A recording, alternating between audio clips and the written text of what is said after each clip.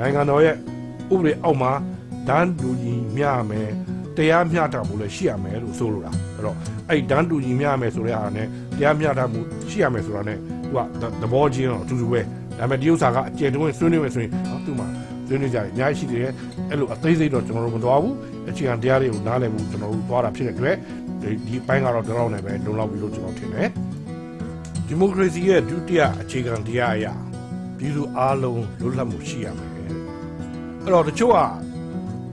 အထင်လွဲမှားနေကြတယ်နော်ဒီမိုကရေစီအဲစနစ်အောက်မှာလည်းမနေခဲ့ကြဘူးတဲ့ခါကျတော့ပြည်သူအားလုံးလွတ်လပ်မှုရှိရမယ်ဆိုတော့ဒီမိုကရေစီဆိုတာလွတ်လပ်တာပဲလှုပ်ချင်တာလှုပ်လို့ရတယ်လို့ထင်နေတယ်မဟုတ်ဘူးဒီမိုကရေစီမှာလှုပ်ချင်တာလှုပ်လို့ကိုမရဘူးနော်ဥပဒေအောက်မှာဘယင်းပါနော်ဟိုဝင်ကြီးချုပ်ပါတမရပါနေရတယ်ဆိုပြည်သူအားလုံးကဒီဥပဒေအောက်မှာနေရတာဘောင်ထဲမှာနေရတာနော်လှုပ်ချင်တာလှုပ်လို့မရဘူး မလွတ်လပ်ဘူးတကယ်တမ်းဆိုရင်တော့နော်ဒီနေ့အဖြစ်ပြောမယ်ဆိုရင်လွတ်လပ်မှုဆိုတာကိုဘောင်ခတ်ပြီးတော့ထားတာနော်ဥပဒေဘောင်ထဲမှာပဲလွတ်လပ်တယ်ဒီအပြင်မှာဥပဒေအပြင်မှာလှုပ်ချင်တာလှုပ်လို့မရဘူးဥပဒေအပြင်ထွက်ပြီးတော့လာတာနဲ့တခါတည်းဥပဒေကရိုက်ချက်ရိုက်ချလိုက်ပါပဲအဲ့တော့တစ်ချိန်ကဒီနောက်တဲကိုရောက်လာတဲ့လူတယောက်ကပြဿနာကြီးအများကြီးတက်တယ်ပလိန်နဲ့လည်းပြဿနာတက်ဒီဟိုဟာ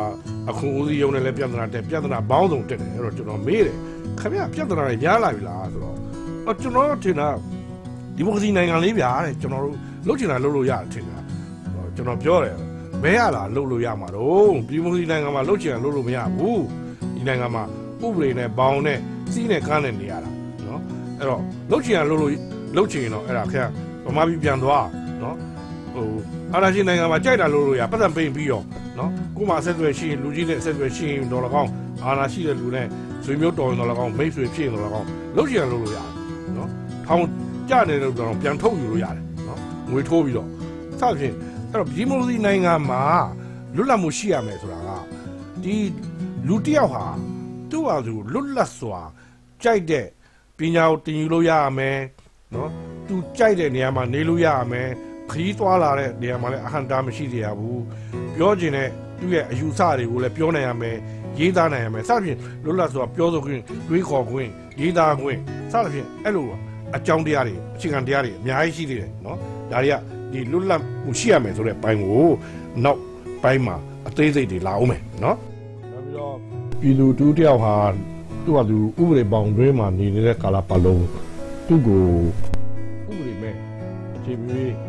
ဖမ်းကျင်တိုင်းဖမ်းဖမ်းလို့မရဘူးစစ်ချင်တိုင်းစစ်လို့မရဘူးတရားဥပဒေအားဖြင့်အ သက်ရှင်ရပ်တည်ပြီးတော့တရားဥပဒေပေါင်းတွင်းမှာနော်သွားလာလှုပ်ရှားလုတ်ကင်နေတဲ့ကာလပတ်လုံးမှာသူ့ကိုဖမ်းကျင်တိုင်းဖမ်းဆီးကျင်တိုင်းဆီးလို့မရဘူးဝေးတွေပါမတရားဖမ်းပြီးတော့တောင်းကျင်တိုင်းတောင်းလို့မရဘူးအာဏာပိုင်ပြီးတော့နော်ဆိုတော့လောလောဆယ်အားဖြင့်ပြည်သူအလုံးလွတ်လပ်မှုရှိရမယ်ဆိုတာဟာစီးမဲ့ကမ်းမဲ့နော်လွတ်လပ်ရမယ်ဆိုတာမဟုတ်ဘူး ဒီမိုကရေစီမှာစီးမရှိတော့စီးကမ်းမရှိတော့ဒီမိုကရေစီဆိုတာမရှိဘူးဒီမိုကရေစီဆိုလိုက်တာနဲ့ကို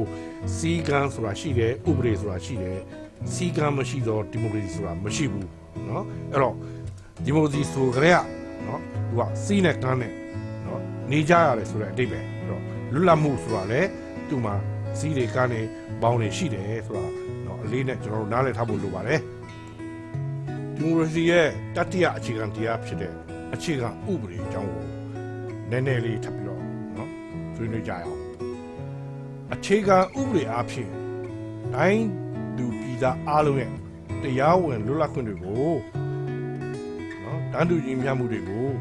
အကာအကွယ်ပေးထားရမယ်လို့ဆိုတယ်အဲ့တော့အကာအကွယ်ပေးထားရမယ်ဆိုတာဘယ်သူစီကနေအကာအကွယ်ပေးထားမှာလဲနော်ဒီအုပ်စိုးသူအစိုးရက သူ့စီကိုအာဏာအတင်းထားတဲ့အတွက်ဒီအာဏာနဲ့သူကနော်တိုင်းသူပြည်သားတွေရဲ့လွတ်လပ်ခွင့်တွေဓာတ်တူညီမျှမှုတွေကိုသွားပြီးတော့ပိတ်ပင်တားဆီးတာမျိုးနော်ဥပဒေရဲ့အပြင်ဘက်ကနေသူကအလုတ်လုတ်လာတဲ့ဟာမျိုးဖြစ်လာတယ်အဲ့ခါကျရင်ပြည်သူတွေရဲ့နော်လွတ်လပ်ခွင့်တွေဓာတ်တူညီမျှမှုတွေဆုံးရှုံးသွားနိုင်တယ်အဲ့ကြောင့်ဥပဒေနဲ့တပည့်ရေးထိုးပြီးတော့တေချာနော်ဟို တတ်မှမထားလို့ရှိရင်နော်ပြည်သူတွေကအချိန်မရွေးဟိုကနော်သူတို့ရဲ့လွတ်လပ်ခွင့်တွေဆုံးရှုံးသွားနိုင်တယ်သူတို့ရဲ့တန်းတူညီမျှမှုတွေသူတို့ရဲ့အခွင့်အရေးတွေဆုံးရှုံးသွားနိုင်တယ်အဲဒါကြောင့်ဒီဥပဒေဆိုတဲ့ခါမှာအခြေခံဥပဒေကတကယ်တော့အစိုးရလုံးမဲ့နော်လူတွေရဲ့အစိုးရအဖွဲ့အစည်းတွေရဲ့အာဏာကိုကန့်တတ်ထားတာပဲနော်ရေပြီးအဖြစ်ပြောမှလည်းဆိုရင်ပြည်သူတွေကအနှင်းလိုက်တဲ့အာဏာကိုနော် ထင်ရဆိုင်ပြီးတော့အတုံးမပြုတ်ဖို့အတွက်နော်သူတို့ရဲ့အာဏာကိုကန့်သတ်ပေးတာနော်ဒီဥပဒေကိုကျွန်တော်တို့ရေးဆွဲတဲ့နေရာမှာရောပြည်သူတွေကပါဝင်ပြီးတော့ရေးဆွဲတာဖြစ်တယ်ပြည်သူတွေကိုယ်တိုင်ကနော်သဘောတူလက်ခံပြီးတော့နော်ပြဋ္ဌာန်းခဲ့တဲ့ဥပဒေဖြစ်တယ်အဲ့တော့ပြည်သူတွေရဲ့အကျိုးကိုကာကွယ်ဖို့နော်တိုင်းပြည်ရဲ့အကျိုးကိုကာကွယ်ဖို့အဲ့ဒါပြင်ပြည်သူတွေမှာဘာတွေလုပ်ပိုင်ခွင့်ရှိတယ်ဘာအခွင့်အရေးတွေရှိတယ်နော် ဆိုတာအားလုံးကိုတရားပြဋ္ဌာန်းထားတာလည်းဖြစ်တယ်နော်ရေးဆွဲထားတာဖြစ်တယ်အဲ့တော့ဒီအစိုးရနဲ့ပြည်သူနဲ့ကြားမှာနော်အရင်ကလည်းပြောထားပြီးပြီစာချုပ်ချုပ်ဆိုထားတာဖြစ်တယ်ဒီမိုကရေစီနဲ့ဥပဒေဆိုတဲ့ခေါင်းစဉ်အောက်မှာနည်းနည်းလေးပြန်ပြီးတော့ကြော့ကျင်တာကနော်ခုနပြောထားတဲ့ကျွန်တော်တို့ဒီပြည်သူတွေရဲ့လွတ်လပ်ခွင့်တွေနော်ပြည်သူတွေရဲ့ဟို တန်းတူညီမျှမှုတွေကိုပြဋ္ဌာန်းတယ်ဆိုတဲ့နေရာမှာပြည်သူတွေရဲ့တာဝန်ဝတ္တရားတွေသူတို့ရဲ့အခွင့်အရေးတွေလည်းမကဘူးပြည်သူတွေကဒီအစိုးရအဖွဲ့ကိုဘာအာဏာတွေအနှင်းထားတယ်အစိုးရအဖွဲ့ရဲ့လုတ်ပိုင်ခွင့်ကဘာလဲဘယ်လိုဥပဒေပေါင်းတွေကကန့်တတ်ထားတယ်ဆိုတာဒါဥပဒေနဲ့ပြဋ္ဌာန်းထားတာဖြစ်တယ်နော်အစိုးရရဲ့လုတ်ပိုင်ခွင့်တွေရောပြည်သူတွေရဲ့လုတ်ပိုင်ခွင့်တွေရောအခွင့်အရေးတွေရောပြဋ္ဌာန်းထားတာဖြစ်တယ် အဲ့တော့ဒီမိုကရေစီမှာအာဏာရှင်စနစ်မှာလို့အာဏာရှင်တူဒီကစီးမဲ့ကားမဲ့အာဏာကိုရဲသုံးသားလုပ်ပြီးတင်ရဆိုင်အနိုင်ကျင့်အုပ်ချုပ်တာမျိုးမဟုတ်ဘူးနော်ရှင်းတော့ဘီမင်းမြတ်တွေခေတ္တကလို့ဘီမင်းမြတ်ကစိတ်မရှိမရှိသလိုနော်စိတ်ထင်းထင်းသလို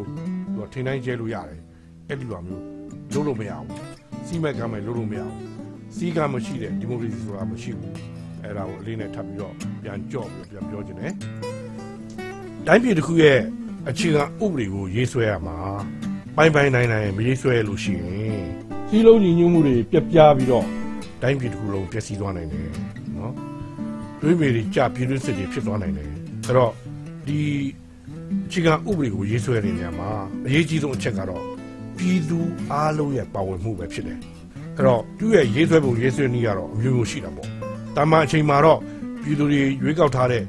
တိုင်းပြုပြည်ပြုလွတ်တော်ကနေမှရေးဆွဲလေးရှိတယ်ဒါပေမဲ့ဒီပြည်သူတွေယုံကြည်တဲ့ခေါင်းဆောင်တွေက၎င်းနော်ဥပဒေပညာရှင်တွေ၎င်းနော်သူတို့ရဲ့အကြံပြုချက်တွေနဲ့မူကြမ်းတွေရေးဆွဲပြီးတော့ရေးဆွဲရတယ်ဆိုတဲ့နေရာမှာအဲ့လောက်နဲ့မပြည့်စုံဘူးလွတ်တော်ထဲမှာလည်းအခြေတင်ဆွေးနွေးရသေးတယ်ငင်းခုန်ရသေးတယ်ပြီးတော့ပြည်သူတွေကိုလည်းအချင်းချင်းလီလီပြန်လဲချပြရတယ်ပြည်သူတွေကနေမှ feedback ပြန်ပေးပြီးတော့အဲ့ဒါကြီးနဲ့တခါပြန်ဆွေးနွေးစသဖြင့်အဲ့လိုအကျိတ်နဲ့လုပ်ရတယ်ကိစ္စဖြစ်တယ်အလွယ်တကူရေးဆွဲလိုက်လို့မရဘူးနော် ကျွန်တော်တို့တိုင်းပြည်မှာဆိုလို့ရှိရင်ဥပဒေပညာရှင်တူဦးကနေမှလူဥပဒေပညာဟိုကျွမ်းကျင်တိုင်းဥပဒေပုံမှန်လေးတစ်ခုဟိုသူ့အလိုကြရေးလိုက်တဲ့အတွက်ကျွန်တော်တို့တိုင်ငံကြီးကသွေးမြေတွေကြပြီးတော့ပြည်သူစစ်တွေနော်မရမနာဖြစ်ပြီးတော့ကျွန်တော်တို့အားလုံးဒုက္ခခံခဲ့ရတာဒါကျွန်တော်တို့တမိုင်းအတွေ့အကြုံတစ်ခုပဲဒီဥစ္စာအဲ့ဒါကြောင့်ဒီဥစ္စာကိုကျွန်တော်တို့အလေးနဲ့ထားပြီးတော့စဉ်းစားဖို့လိုတယ်ဒါကြောင့်လဲပြည်သူတွေကနော်ချင်ဥပဒေကိုနားလည်အောင် အချင်းချင်းလီလီသင်တန်းတွေပို့ချပြီးတော့နော်ဆယ်မီနာတွေလုပ်တယ်နော်မူကျန်းတွေအစစ်စစ်ရေးဆွဲပြီးတော့ကျွန်တော်တို့လုပ်နေကြတယ်အဲ့ဒီလိုလုပ်ချင်းအဖြစ်တချို့ကလည်းကျွန်တော်တို့ကိုမလိုအပ်တာတွေလုပ်တယ်မလုပ်လို့မရသေးတာဟာတွေလုပ်တယ်အချိန်မတန်သေးတာတွေလုပ်တယ်တစ်ချိန်မှာဒီမိုကရေစီရမှတိုင်းပြည်ပြည်လွတ်တော်လောက်လောက်ရမယ့်အလုပ်တွေကိုကျွန်တော်တို့ကလုပ်နေတယ်လို့ဝေဖန်တဲ့လူတွေရှိတယ်လို့ဆိုလည်းပဲအဲ့ဒီချိန်ခါကြမှာနော်စလောက်ကြမယ်စလေ့လာကြမယ်ဆိုရင်တော့နော်ဒီ အမှားမှားယွင်းနေဖြစ်မှာတေချာပေါက်ပဲနော်ပညာရှင်တွေကသလောကောင်နော်နိုင်ငံရေးသမားတွေကသလောကောင်သူတို့ထင်ရဆိုင်ပြီးတော့ရေးဆွဲသွားလို့ရှိရင်ပြည်သူတွေတခါတည်းနော်ထပ်ပြီးတော့နစ်နာအောင်ပဲအဲ့ဒါကြောင့်ပြည်သူတွေကိုချပြနေတာနော် web page တွေမှာလည်းတင်ပြီးတော့နော်နေရာတကာမှာလည်းကြုံကြုံသလိုနော်အခုကြုံတိုင်းကြုံတိုင်းဒါတွေကိုချပြဆွေးနွေးနေရတာဖြစ်တယ်အဲ့ဒါကြောင့်ဒီအခြေခံဥပဒေဆိုတာကိုတော့အင်မတန်မှနဲ့ဆိုင်တဲ့ ကိစ္စဖြစ်တဲ့အတွက်ပေါ့ပေါ့တန်တာမစင်စားကြဘူးအရေးကြီးပါတယ်။ဘာဖြစ်လို့လဲဆိုတော့ဒီအခြေခံဥပဒေဆိုတာကဒီမိုကရေစီရဲ့အစိတ်ပိုင်းတစ်ခုဖြစ်တယ်။စောစောပိုင်းကပြောထားပြီးပြီ။ကျွန်တော်တို့ရဲ့ဒန်းတူညီမျှမှုတွေကျွန်တော်တို့ရဲ့လွတ်လပ်ရေးကိုလိုချင်တဲ့စိတ်ဓာတ်တွေလွတ်လပ်မှုကိုလိုလိုလားတဲ့ပြည်သူတွေရဲ့စန္ဒတွေဒါတွေကိုအကာအကွယ်ပေးထားဖို့ဖြစ်တဲ့အတွက်ဒီဥပဒေဆိုတာကြီးအခြေခံဥပဒေဆိုတာကြီးမရှိဘဲနဲ့ဒီမိုကရေစီဆိုတာလေထဲမှာတည်ဆောက်လို့မရဘူး စာနဲ့ပေနဲ့ကပီးအခါရထိုးပြီးတော့တည်ဆောက်အောင်ဖြစ်တဲ့အတွက်ဒါကြီးကိုကျွန်တော်တို့ကပယ်ထားလို့မရဘူးအရင်မကြီးပါဘူးဗျာနောက်မှလုပ်ရအောင်ပါဗျာဆိုတာကဒီမိုကရေစီကိုကျွန်တော်တို့နှစ်နှစ်ကာကာယုံကြည်မှုမရှိသေးတာလားဆိုတဲ့အခါကျတော့ဒီအခြေခံဥပဒေဆိုတာနဲ့ဒီမိုကရေစီဆိုတာနဲ့တထထဲဖြစ်နေတယ်ဆိုတာကိုကျွန်တော်တို့အလေးနဲ့နှလုံးသွင်းထားဖို့လိုတယ်နားလည်ထားဖို့လိုတယ်ဒါမှသာလျှင်ဒီအခြေခံဥပဒေဆိုတာကိုလေ့လာခြင်းနဲ့ဆန္ဒတွေဖြစ်လာမယ် ဆွေးနွေးခြင်းနဲ့ဆန္ဒတွေရှိလာမယ်ဆွေးနွေးပြီးတော့ညှင်းခုန်ပြီးတော့မူချမ်းတွေရေးဆွဲခြင်းနဲ့ဆန္ဒတွေဖြစ်လာမယ်နှုတ်မရှင်ကတော့ဒီမူချမ်းရေးဆွဲနေတဲ့ဟာကြီးဆွေးနွေးနေတာဟဲ့ပဲအလကားအချိန်ဖြုံးနေတယ်လို့ပဲယူဆတယ်ရှိတယ်အဲ့တော့ကျွန်တော်တို့ဒီနေရာမှာကျွန်တော်တို့အယူဆချင်းကွဲပြားခြားနားလို့သိမကောင်းဘူးဒါအန္တရာယ်ရှိတယ်ဆိုတော့အနာကကျွန်တော်ပြည်တော်စုနိုင်ငံထူထောင်တဲ့ခါမှာလည်းဒီလိုပဲကျွန်တော်တို့အတူတကွရေးဆွဲရမှာပဲအဲ့အတီးပြူတဲ့ခါမှာတော့ ပြည်သူတွေမပါဘဲနဲ့အတီးပြူလို့မရဘူးဒါပေမဲ့လက်ရှိပြည်တွင်းမှာလုံးလို့မရတဲ့ဟာကိုကျွန်တော်တို့ပြည်ပမှာနေဆက်တွေမှာလုံနေတဲ့ဟာကိုပဲအမြင်ဆောင်နေတဲ့ခေါင်းဆောင်တို့ချုပ်ကိုကျွန်တော်တို့ဝမ်းတဲ့စွာတွေ့နေရတယ်အဲ့ဒါအများစုတော့မဟုတ်ပါဘူးအမျိုးမျိုးတော့ရှိနိုင်တာပေါ့အယူဆကြည့်ပါတော့ဒီလိုဒီယုံကြည်တဲ့နေရာမှာတို့တော်လည်းပဲဒီယူဆအမျိုးမျိုးရှိတာကိုကျွန်တော်တို့ကအပြစ်မဆိုးလို့ဘူးတို့တော်လည်းအခြေခံအားဖြင့်ဒီကဥပဒေဆိုတာကိုရေးဆွဲကြတာဆွေးနွေးကြတာဟာ လိုအပ်ချက်တစ်ခုဖြစ်တယ်အင်မတန်မှအရေးကြီးတဲ့အချက်တစ်ချက်ဖြစ်တယ်ဒီမိုကရေစီနိုင်ငံတော်ကြီးထူထောင်ဖို့တာယာဘွားပြောတဲ့ဒီမိုဒီမိုကရေစီလူပောင်ကြီးထူထောင်ဖို့ဆိုတာဒီအချက်မပါရင်ဖြစ်ကိုမဖြစ်ဘူးဆိုတာကိုကျွန်တော်တို့အလေးနဲ့နစ်နစ်ကာကာနားလည်ထားကြဖို့လိုအပ်ပါတယ်အာဏာရှင်စနစ်နဲ့ဒီမိုကရေစီစနစ်ရဲ့ကွာခြားချက်ကိုကျွန်တော်တို့ကာကာနာနာရှင်းရှင်းလင်းလင်းသိပြီးပြီးပြီးတော့ကျွန်တော်ယူဆတယ်။တော့ဒီနေ့အထိဒီချိန်ထိ ပူချသွားတဲ့သမီးလားတစ်ကနေအခုကျွန်တော်73ထိရတော့ဒါတကယ်အခြေခံတရားတွေဒီလိုကြီးရဲ့အခြေခံတရားတွေပေါ့နော်။ဆိုတော့ဒီဘိုင်းကိုအပြန်ပြန်လာလာပြန်ပြီးတော့လေ့လာပြီးတော့ဖတ်ရှုပြီးတော့နားထောင်ပြီးတော့နော်ဆက်လက်ပြီးတော့ပြန်လဲပို့ချတဲ့နေရာမှာလဲရှင်းရှင်းလင်းလင်းပို့ချအောင်ပို့ချနိုင်အောင်ကြိုးစားကြပါ။နောက်ပြီးတော့အခုချိန်ကစပြီးတော့ဘယ်သူကပဲမေးမေးနော်ဒီမိုကရေစီဆိုတာပါလဲဆိုတော့မေးလာလို့ရှိရင်တော့ဒီတိုင်းပဲ အခြေခံတရားတွေကိုပဲပါတယ်ဒီကပတ်ကုန်းပြောနေရတယ်လို့ကျွန်တော်ပြောကြည့်ပါတယ်အခုနောက်ပိုင်းမှာเนาะကျွန်တော်တို့တမိုင်းကြောင်းကိုနည်းနည်းလေးခြုံပြီးငုံပြီးယုံတော့ပေါ့เนาะကြီးယုံပြီးသွားရအောင်ဆိုတော့ဘယ်လိုသွားမလဲဆိုတော့ကျွန်တော်တို့အေစီမြို့ရှေးဟောင်းဒီမိုကရေစီကိုသွားမယ်ရှေးဦးဒီမိုကရေစီပေါ့เนาะအဲ့ဒါကိုတော့တိုက်ရိုက်ဒီမိုကရေစီလို့ခေါ်တယ်ကဘာမှာပထမဦးဆုံး ဒီမိုကရေစီကိုစတင်ပေါ်ပေါက်ခဲ့တဲ့နေရာကတော့ဂရိနိုင်ငံအေဒီမြို့ဖြစ်ပြီးတော့ BC 900ဝန်းကျင်လောက်မှာစတင်ပေါ်ပေါက်ခဲ့တာဖြစ်တယ်။အဲဒီချိန်မှာတော့ဒီလူအားလုံးမြို့သူမြို့သားပေါ့လေအဲဒီကတော့မြို့နိုင်ငံဆိုတော့မြို့သူမြို့သားအားလုံးဒီဓာတ်ရိုက်ဒီမိုကရေစီကိုကျင့်သုံးတယ်ဆိုတဲ့နေရာမှာသူတို့ကဒီမြို့ရဲ့အုပ်ချုပ်ရေးတိုင်ရာမြို့သူမြို့သားတွေလိုက်နာရမယ် ဥပဒေတွေအုပ်ချုပ်တဲ့လူတွေရဲ့လိုက်နာမယ်ဥပဒေတွေဒါတွေအားလုံးကိုနော်သူတို့အဲဒီမျိုးရဲ့မျိုးလက်ကောင်မှာစုယုံပြီးတော့သူအားလုံးစုယုံပြီးတော့အဲ့ဒါတွေကိုပြတ်ထားနေတတ်မှတ်တယ်သူတို့ကိုယ်တိုင်ကမြို့သားတွေကိုယ်တိုင်ကဒီမြို့ကိုအုပ်ချုပ်တယ်အလှည့်ကျသူတို့တာဝန်ယူပြီးတော့အုပ်ချုပ်ကြတယ်ဆိုတော့အဲ့ဒီကနေမှကဘာမှာပထမဦးဆုံးကဘာတမိုင်းရပထမဦးဆုံးပေါ်ပေါက်လာတဲ့ဒီမိုကရေစီဖြစ်တယ်အဲ့ဒီကနေမှတခြားမြို့တွေကိုတဖြည်းဖြည်းပြန့်နှံ့သွားတယ်ဆို တော့သူ့မှာတော့အားနည်းချက်ကလေးတွေရှိတယ်သို့တော်လည်းပဲဒါပထမဦးဆုံးရှေးဦးအဲဒီမိုကရေစီဖြစ်တဲ့အတွက်အားနည်းချက်ကလေးတွေတော့ရှိပါတယ်ဒါဒီနောက်ပိုင်းမှာတင်ပြပါဦးမယ်အဲဒီခေတ်မှာတော့တူးတွေကပိုင်တဲ့အာဏာဆိုတာမရှိဘူးဒီလူအားလုံးလက်ထက်မှာအာဏာတည်ရှိတယ်ဒီလူအားလုံးကပဲသူတို့ရဲ့မြို့ရဲ့ဝေယဝိဆဒီရောသူတို့ရဲ့ကြီးတွေကန်းတွေရောဥပဒေတွေရောအကုန်လုံး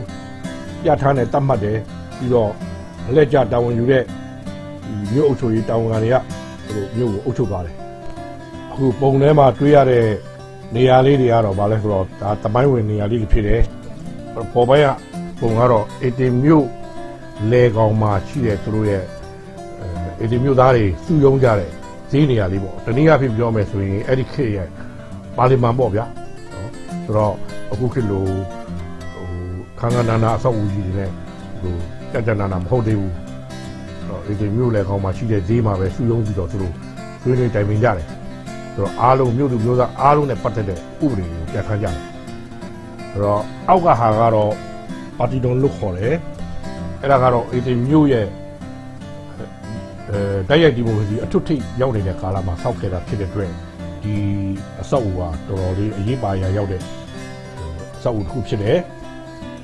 သူကတော့စာပိုင်းမှာတော့နှစ်ခုအနေနဲ့တိစောက်ခဲ့တာဖြစ်ပြီးတော့နောက်ပိုင်းမှာလည်းဘာနာတိုက်အနေနဲ့လည်းတုံ့ပြခဲ့တယ်ဒီနောက်ပိုင်းမှာတော့မိုးဒဏ်လေးဒဏ်စစ်ဒဏ်တွေမျိုးမျိုးခံခဲ့ရတယ်ဆိုတော့သူဖြတ်တန်းခဲ့ရတဲ့သမိုင်းကြောင်းအရာအဲစစ်ပွဲတွေစစ်ပွဲတွေနဲ့ဥချိုကြီးအပြောင်းအလဲတွေပေါ်မှာမူတည်ပြီးတော့မွတ်စလင်ဗလီအဖြစ်နဲ့အပြောင်းအလဲခံရမှုတဲ့ဒီပါတီတော်ကြီးကိုတော့ခရိယန်ဘုရားကျောင်းဖြစ်လဲအပြောင်းအလဲခံရမှုတွေသူ့ရဲ့သမိုင်းကြောင်းကတော်တော်လေးစိတ်ဝင်စားစရာကောင်းတယ် ဒီအဆောက်အဦကိုပါလီမန်အနေနဲ့တော့အသုံးမပြုခဲ့ကြဘူးဆိုတော့လည်းနောက်တိုင်းမှာတော့ဒီပုံတရံကိုကူးပြီးတော့ပါလီမန်အဆောက်အဦတွေကိုသူတို့ဒီတိုင်းဆွဲကြတာများတယ်အခုပြည့်တွင်းကြတဲ့ပစ္စည်းကတော့ဒီဟာကိုပဲကျွန်တော်တွေ့ရတယ်အဲကမ္ဘာပြည်လူကလောကမှာဒီဥစ္စာကအင်မတန်မှတန်ဖိုးထားကြတဲ့အဆောက်အဦတစ်ခုဖြစ်တယ်ပြီးတော့ပစ္စည်းတစ်ခုဖြစ်တယ်အေဒီမျိုးရဲ့ ဒီမိုကရေစီအထွတ်ထိပ်ရောက်နေတဲ့ကာလမှာတိဆောက်ထားတဲ့ဖြစ်တဲ့အတွက်ဒီမိုကရေစီရဲ့အင်္ဂေတလိုလိုပါလို့လည်းဖြစ်သွားတယ်အထူးသဖြင့်နောက်တိုင်းမှာဒီမိုကရေစီနိုင်ငံတွေထူထောင်လာတဲ့ခါမှာဒီအုပ်ချုပ်ရေးအဆောက်အဦတွေတော့ကောင်းဗန်ဒိုက်တွေတော့ကောင်းဟိုစောက်တဲ့ခါမှာဘီလူကဒီဇိုင်းဆွဲတဲ့ခါမှာဒီအဆောက်အဦရဲ့ပုံစံကိုတတိတပုံပေါ့နော်တိုက်ရိုက်ပုံစံမှာတတိပုံကူးယူပြီးတော့သူတို့တိဆောက်ကြတယ်ဒီဥစ္စာကအင်္ဂ လန်မှာတံမိုးထားကြတဲ့ဘီလူကပစ္စည်းတစ်ခုဖြစ်ပါတယ်။စာမျက်နှာ16မှာကျွန်တော်တို့အခုမြင်နေရတဲ့ပုံကတော့ American ပြည်တော်စု Tennessee ပြည်နယ်မှာရှိတဲ့ဒီ Tennessee ပြည်နယ်မြို့တော် Nashville မှာပြန်လည်တည်ဆောက်ထားတဲ့ပါတီတော်ပုံဖြစ်တယ်။လွန်ခဲ့တဲ့စာမျက်နှာ15မှာပြောသွားတဲ့အတိုင်းပဲဒီဆောက်ဦးဟာတော့80မြို့ရဲ့ရှေးဦးဒီမိုကရေစီပေါ့တိုက်ရိုက်ဒီမိုကရေစီထွတ်ထိပ်ရောက်နေတဲ့အခါမှာတိဆောက်ခဲ့တဲ့အဆောက်အဦဖြစ်တဲ့အတွက်ဒီနောက်ပိုင်းနောက် တိုင်းနိုင်ငံတွေမှာဒီမိုကရေစီပြန့်ပွားလာတဲ့နောက်ပိုင်းဒီအဆောက်အဦဟာဒီမိုကရေစီရဲ့သင်္ကေတလိုလိုဖြစ်သွားတာနော်အဓိကသူရဲ့ထူးခြားချက်တွေကတော့ဘီလူကရှုအောင်နေကြည့်လို့ချင်းအချို့အစားတွေပြပြတယ်တိုင်ကြီးတွေကလည်းခံကြရတယ်နောက်ပြီးအလုံးအမိုးပေါ်မှာရှိထားတဲ့ထူလုပ်ထားတဲ့ရုပ်ထုတွေဘာတွေကလည်းသူကနည်းနည်းထူးခြားခြားရှိလာတယ်ပေါ့နော်အဲ့တော့တခြားပါလီမန်ဆောက်ဦးလေးပန်တိုက်တွေပါလိမ့်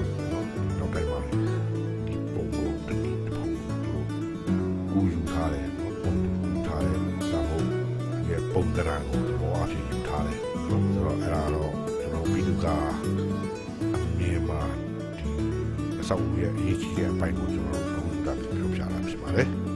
ရှေးဦးအတင်မျိုးရဲ့အုပ်ချုပ်ရေးဆိုင်ရာလုပ်ငန်းဆောင်တာတွေကိုပြည်သူ900ပေါင်နဲ့ကောင်စီကဆောင်ရွက်တယ်။ကောင်စီကဆုံးဖြတ်တယ်ဆိုတဲ့တိုင်အောင်အရေးကြီးတဲ့ကိစ္စတွေကိုဆုံးဖြတ်ဖို့အတွက်ပြည်သူအားလုံးပါဝင်တဲ့လွှတ်တော်ကိုခေါ်ယူပြီးတော့မဲပေးဆုံးဖြတ်ကြတယ်။တနည်းအားဖြင့်ပြောရရင်တော့ရှေးဦးအတင်မျိုးရဲ့အုပ်ချုပ်ရေးဟာ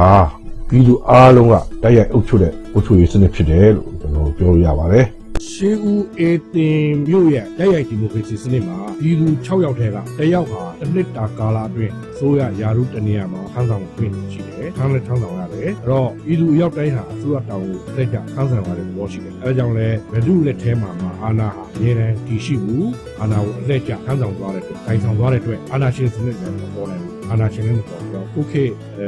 လူသားပြုဒီမိုကရေစီစနစ်နဲ့စာလို့ရှိရင်အဲ့ဒီအေတင်မျိုးရဲ့ဒီမိုကရေစီစနစ်ကပြည်သူကတိုက်ရိုက်အုပ်ချုပ်ဖြစ်တယ်။အဲဒါကြောင့်လည်းဒီစနစ်ကိုတိုက်ရိုက်ဒီမိုကရေစီစနစ်ကျွန်တော်ရှေးဦးအေတင်မျိုးရဲ့တိုက်ရိုက်ဒီမိုကရေစီစနစ်မှာကျွန်တော်အားနဲ့ကြည့်ဒီ